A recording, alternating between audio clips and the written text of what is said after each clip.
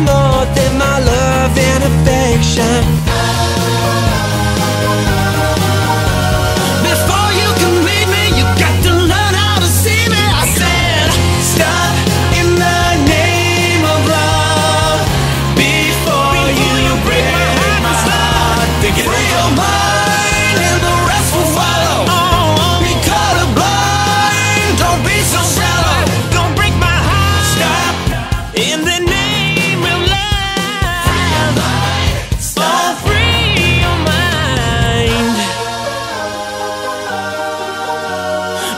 You can read me, you